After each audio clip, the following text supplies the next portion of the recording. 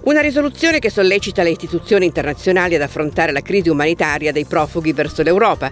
L'ha approvata il direttivo regionale dell'Associazione per il Consiglio dei Comuni e delle Regioni d'Europa, AICRE, riunito a Palazzo Lascaris. L'associazione ha poi rivolto un monito a governo e Parlamento italiano perché il Mediterraneo non diventi il cimitero dell'Europa.